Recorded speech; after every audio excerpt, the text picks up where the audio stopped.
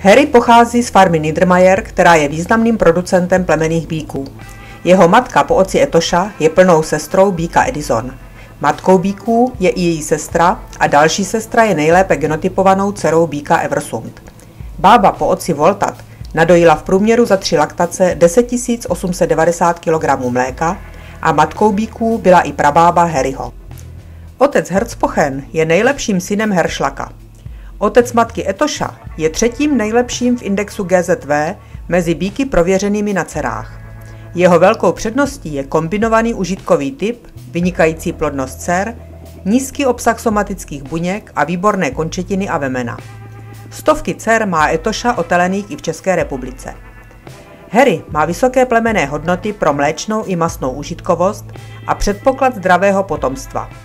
Další předností jsou výborné hodnoty pro dojitelnost dcer.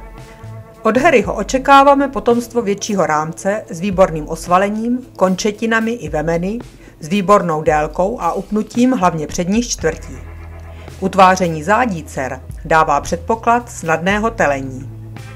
Porody po spermatu Harryho nejsou zatím prověřené, doporučujeme ho používat převážně na krávy.